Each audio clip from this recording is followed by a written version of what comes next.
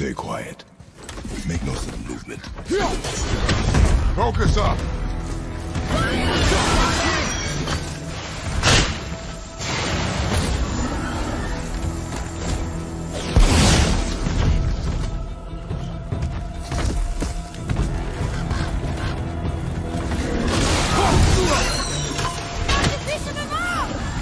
We can use it against him!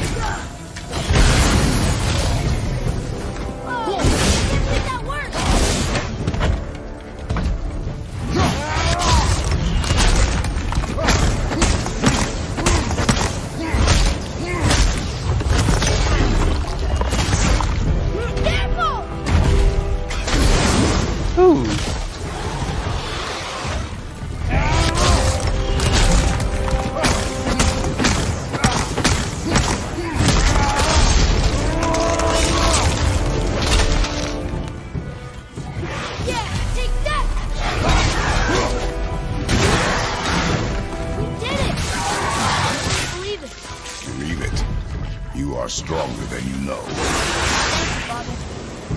Let's see if that's the alchemist ring.